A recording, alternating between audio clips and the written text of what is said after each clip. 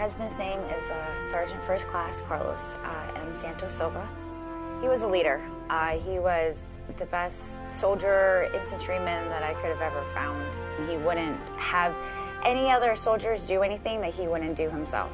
He was fun, someone I really looked up to. It was the best moments whenever I could see him come home from deployment. He was killed in action March 22nd, 2010. He was on a patrol and a command detonated IED went off underneath his passenger seat. He was scheduled to come home in April. He didn't come home the way we thought he would.